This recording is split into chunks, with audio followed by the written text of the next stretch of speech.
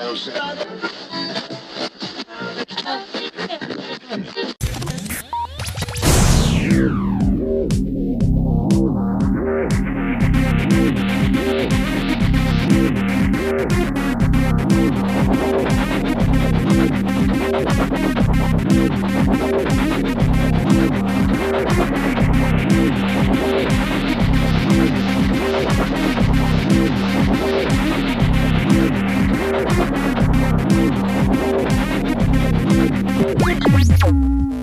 Good, good, good, good morning, Wolfpack. Welcome to the last show of the term for Renee and I. I'm Ben Marjat. And I'm Renee Gonzalez, and today is Tuesday, October 11th, Ben's birthday.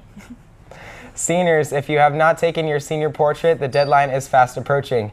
To assure your senior portrait is in the yearbook, please contact Prestige Portraits by October 15th.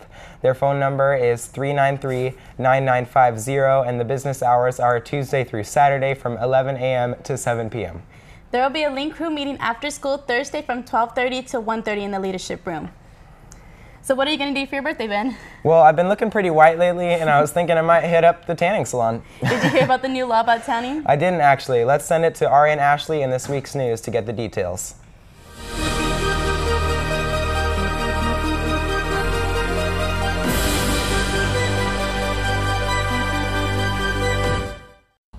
Good morning, Wolfpack. I'm Ariana Reland. And I'm Ashley Montgomery, and here's your local news. For us young California teens who love to be tan, those days are over.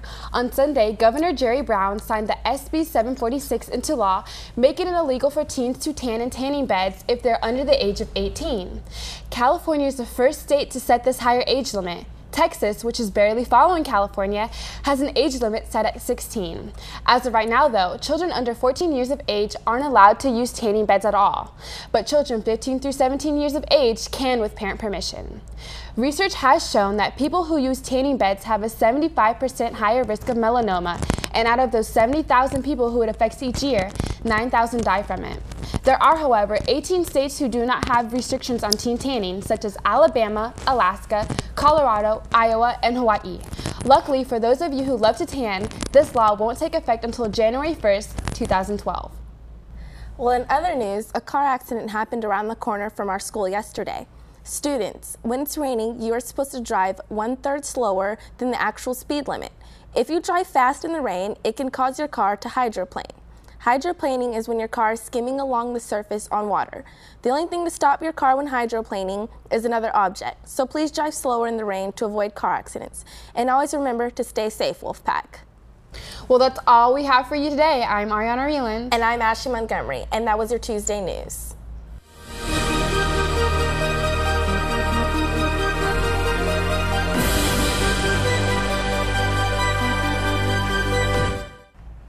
This fall, Wolfpack Theater is producing Shakespeare's Comedy of Errors. Tickets are available in the student store, the web store, or from any Comedy of Errors cast member. Tickets are $8 for general admission, $6 for senior citizens, children under 10, and ASB card holders. There will be a special dinner theater on Friday, October 21st, beginning at 5.30 in COHS's Parkside Cafe. Enjoy dinner and a show for only $25 a person and $15 for children 10 and under. Are you looking for an opportunity to help improve your school environment? We're looking for 11th and 12th grade students who are interested in helping their peers solve everyday disagreements using a mediation process. Applications for 2011-2012 conflict mediators are now available in the student services. Applications are due October 19, 2011. Wait, what's that? Is that a ghost? I think so. The studio's haunted. Oh my ah! gosh! I'm Alexis Montgomery to see if anyone's had ghost encounters at Cosumnes Oaks High School. So, do you guys believe in ghosts? Yeah. Yeah. Have you? I've had doors closed and my bed shook in the middle of the night.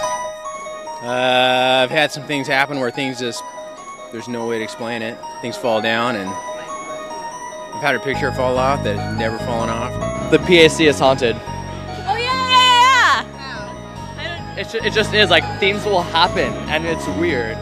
Like you can hear like tapping in the hallways, or and lights turn on and off. It's cray cray. It's cray cray. I have. We were playing a game. Me, my mom, my brother, my sister, and we went upstairs to go put the game back. And then we heard this like rattling on the on our roof or whatever. And my brother was like, "Oh, those are just ghosts." And I was like, "What?" And he's like, you gotta tell him to shut up. So he's like, shut up, and then it, st- it stopped, and then like when we were going back on set, it goes boom, boom, boom, boom. It was so crazy.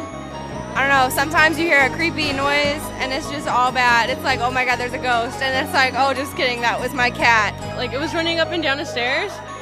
And, like, I didn't, I thought it was my cat at first, but it turns out that she was outside. So I came out of my room and I went downstairs and I asked if there's, like, anybody there. And I heard kids laughing.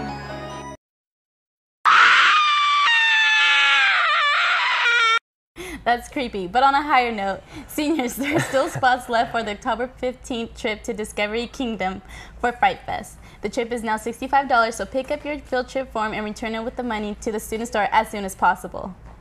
The PSAT will take place tomorrow, Wednesday, October 12th. Be at the PAC at 7:45 and remember to bring your ID card, a number 2 pencil, and a calculator. All students not taking the PSAT, tomorrow is a reverse minimum day and school will start at 11 o'clock.